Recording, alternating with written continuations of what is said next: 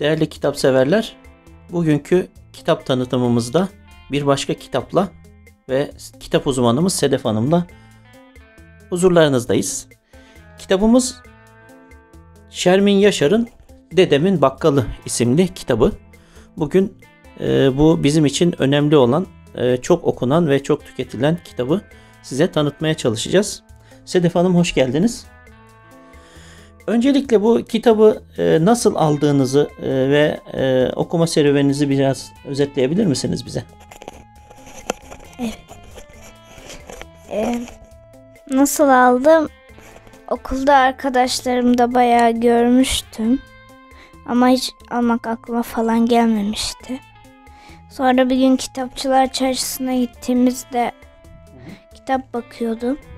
Ablam da bunun kapağı güzel demişti. Evet, kitap kapağı önemli değerli arkadaşlar. E, kitabın albenisi önce kapağından geçiyor. Dedemin bakkalının kapağı da gayet güzel. Evet, devam edelim. Sonra işte almak istemiştim ama arkasına bakınca 32 lira olduğunu görmüştüm. Evet, burada 35 yazıyor. Demek ki indirimli vermişler. İşte her neyse. Hı. Sonra bu kitabı aldığım için senden haftalarca harçlık alamamıştım. Evet, demek ki e, haftalık veya aylık kitap kotanızı doldurdunuz bu kitabı alarak. Aylık aylık 20 liraydı. Hı hı. Bu da 35 lira olduğuna göre evet haftalarca alamamış olabilirsin.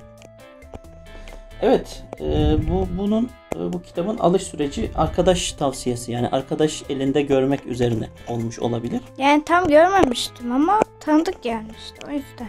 İsim de güzel. Dedemin bakkalı ne olabilir acaba diye insan merak eder alır yani. Öğretmenim de şey an, ben de bunu size okutmayı düşünüyordum demişti. Hmm. Benden almıştı bayağı vermemişti. Sonra bir gün verdiğinde resim dersindeydim.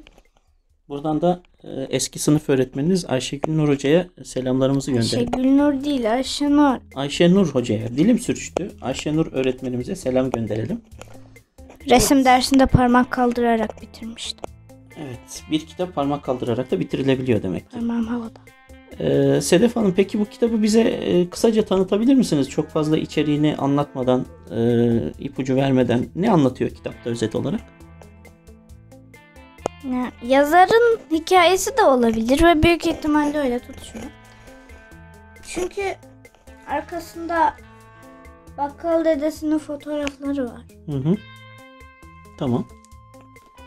Ama olmaya da bilir. Şimdi o olabilirle olmayabilir meselesini zaten kitabın en başında bir bölüm bir sayfa var. Ee, orada yazmış Şermin Yaşar. Ee, istersen hızlıca sana bir okuyayım sen de öğren. Bin birinci kez. Diyor ki Şermin Hanım bu kitapla ilgili bu kitapta anlatılan olayların tamamı gerçektir. Ama belki de değildir. Belki de birazı gerçek birazı değildir. Kahramanların tamamı hayal ürünüdür ama belki de değildir. Yani bir kısmı gerçek olabilir, birazını uydurmuş olabilirim. Yani belki de gerçek kahramanların gerçekleri okuyup kızmasından korkuyor olabilirim. O yüzden gerçek değiller diyorum. Yani işte anlarsın. Şimdi bir dünya laf edecekler. Yok beni niye öyle anlattın? Yok ben sana öyle mi yaptım? Yok ben sana böyle dememiştim falan. En iyisi hiçbirisi gerçek değildir diyelim. Hı hı hepsini ben uydurdum. Onlarla hiç alakası yok. Gerçekten yok. Hepsi kurgu. Ciddiyim bak. Hem böyle bakkal çırağı mı olur? Değil mi? Hiç. Demiş ve bu üslubunu da ben size söyleyeyim. Kitabın bütünü boyunca devam ettirmiş.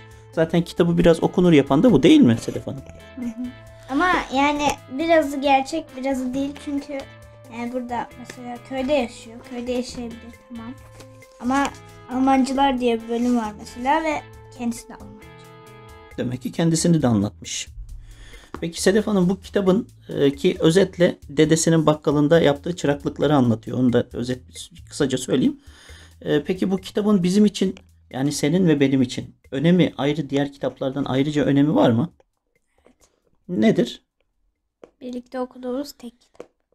Tek kitap demesek yani daha önce birlikte Küçük oku- küçük kitap bile değil. Kuçu Kuçu diye bir kitap okumuştuk. Literatürümüzde var. Burada değil ama O kitap değil resim. Evet bu kitap birlikte çok okuduğumuz bir kitap. Yani e, uzun dönemler boyunca yatmadan önce birbirimize seslice bölüm bölüm okuduğumuz bir kitap. Çünkü komik bir kitap.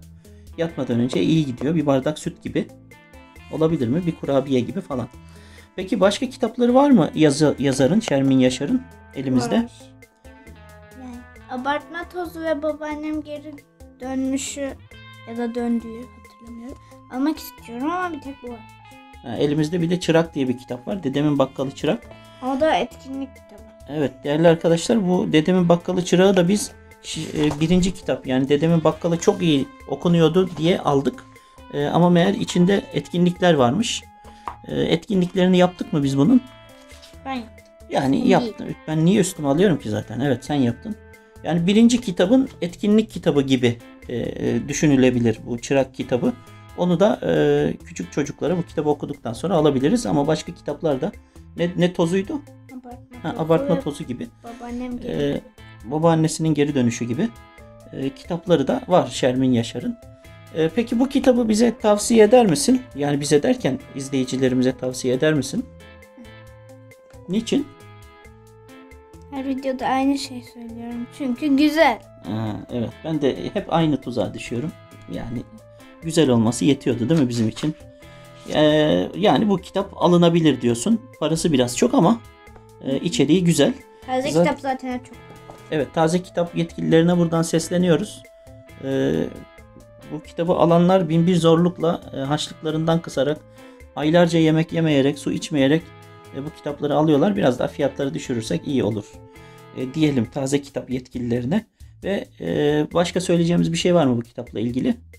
Yok. Yok. Peki teşekkür ederiz Sedef Hanım bizi aydınlattığınız için. E, değerli kitap dostları bugün e, Şermin Yaşar'ın e, Dedemin Bakkalı kitabını sizlere tanıttık. E, Sedef Hanım'a teşekkür ediyoruz ve hepinize hayırlı bayramlar diliyoruz. Allah'a emanet olun. Vazgeçmeyeceksin değil mi? Üflemesen.